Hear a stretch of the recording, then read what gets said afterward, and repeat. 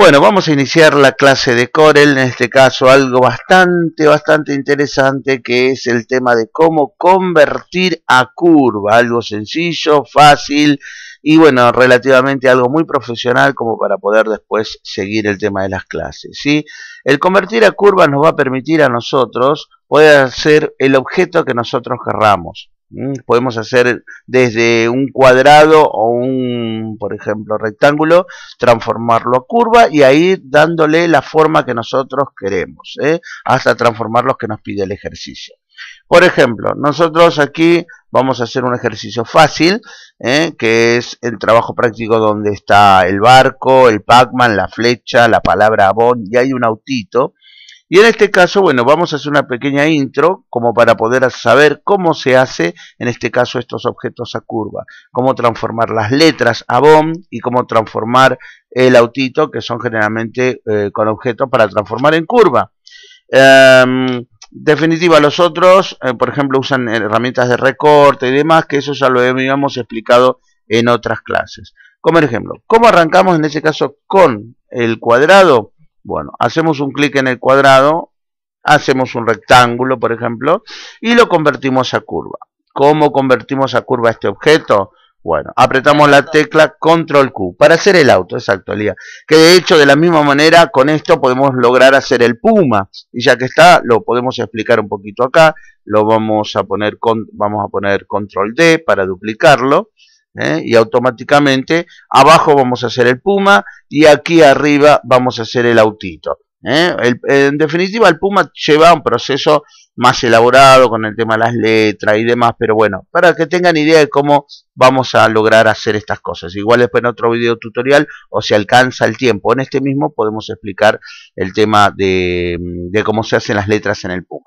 Bueno, decíamos entonces, apretamos Control Q venimos al cuadrado abajo, control Q, y ya automáticamente los dos objetos pasan a ser ahora um, transformados o transformables, por decirlo así, para que nosotros lo empecemos a modificar. Entonces, con esta segunda herramienta, que es la herramienta de forma, voy a hacer un clic ahí y automáticamente voy a empezar a trazar haciéndole doble clic en el lugar que yo quiera, doble clic y tengo la posibilidad de ponerle el nodo. Fíjate que ahí se agrega un nodo, si hago doble clic se agrega otro nodo, hago doble clic otro nodo, voy haciendo doble clic en los lugares que yo quiera y automáticamente después con la misma herramienta voy haciéndole un clic y voy obviamente modificando el objeto para el lugar que yo quiera. Mira, fíjate, sin querer estoy haciendo como una corona. ¿eh? Bueno, básicamente eso es transformar a curva. Sí o sí tengo que agarrar y decir poner la tecla control Q. Fíjate Elías, Elías hoy ha traído su Only One, eh, o sea, su 3 en 1, su PC. O sea, yo estoy haciendo este video tutorial y Elías me está siguiendo en su computadora. Fíjate Elías, si yo me olvido de poner control Q y hago un clic acá en esta herramienta y quiero meterle los nodos en cualquiera de estas partes, no voy a poder.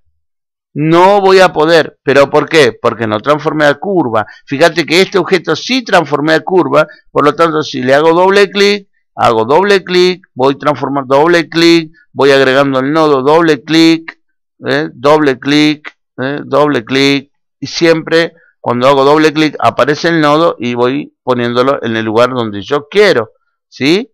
Básicamente es eso. Ahora, esto fíjate si yo hago, por ejemplo, que no está transformado a curva, si yo hago un clic sobre el cuadrado y lo empiezo a arrastrar, mira qué pasa, Elías. Empieza a tener, por ejemplo, ese cuadrado lo puedo transformar en puntas redondeadas y fíjate cómo queda el objeto. ¿eh? Agarro un clic ahí y ya automáticamente puedo obtener eso. Lo mismo puede suceder si yo agarro, por ejemplo, un círculo y a ese mismo círculo con la herramienta de forma hago un clic y empiezo, mira, fíjate bien, a arrastrarlo para los costados. ¿ves? Puedo llegar a lograr como una especie de arco o un semicírculo dependiendo del lugar donde yo quiero. Con esta herramienta automáticamente obtengo eso como si fuese una herramienta de corte. ¿eh?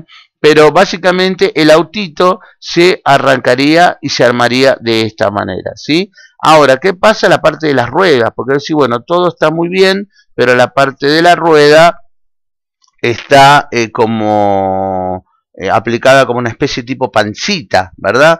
Bueno, eso lo mismo sucede con la parte del lomo del puma, la colita del puma, la pierna y todo eso. Obviamente vamos a tener que moldear y vamos a tener que darle un, un poquito de curva a esto, ¿sí? ¿Y cómo sería? Mira, te muestro el tema de las curvas. Hacemos un clic acá en el objeto, hacemos doble clic, por ejemplo, ahí, y ahí en el nodo que hemos puesto, hacemos un clic con el botón derecho y vamos a la opción que dice A curva. Cuando dice clic en A curva, fíjate que se agregan automáticamente dos flechitas. Esas flechitas, yo inclusive las puedo estirar un poquito más para adentro o para afuera, dependiendo de dónde haga clic en el nodo. Y cuando yo hago clic en esa flechita, fíjate cómo empieza a moldearse, ¿eh? cómo empieza a moldearse y tomar forma de círculo esta herramienta que prácticamente era recta. ¿eh? A curva, muy bien. Y con esa flechita las puedo meter hacia adentro, fíjate, mira, y logro como una especie de, ¿eh? ¿viste? Como una pancita, ¿eh? o puedo lograr el efecto que yo quiera. De esta manera, con estas simples y dos herramientas, automáticamente empezamos a hacer las rueditas. Aquí, tanto para el autito, y acá como para el puma, que obviamente le vamos a ir dando forma, hacemos doble clic, vamos a ir aplicando mm, todas las herramientas que yo quiero. Desde aquí, por ejemplo, va a salir la cola, desde aquí va a salir la pierna, hago doble clic mm, para agregar el nuevo nodo y voy teniendo por acá, por acá va a salir la cabeza, doble clic, por acá va a salir el lomo. Fíjate cómo le vamos dando más forma, doble clic por acá, le vamos a crear acá la piernita, mira, pero eso no tiene ni forma de puma. Bueno, desde aquí más o menos básicamente después empezándolo a moldear, llegamos a tener obviamente el Puma, ¿sí? Que es el que vas a tener que lograr hacer vos de tarea. Ahora, ¿qué pasa? El Puma obviamente va a ir con una medida. Vamos a poner las líneas guía, medir a ver cuánto tiene de ancho, cuánto tiene de largo y obviamente todo con las líneas guías como ya hemos visto en clases anteriores. O sea que el Pumita sí va a ir con la medida que corresponda, ¿sí? Y el autito por ahora no, porque el autito es un ejercicio simple que si quieres lo puedes medir como para que ya tenga la misma medida, sino simplemente a ojo podéis utilizar esta herramienta que es justamente convertir a curva. Entonces, de esta manera hemos aprendido a utilizar la herramienta convertir a curva.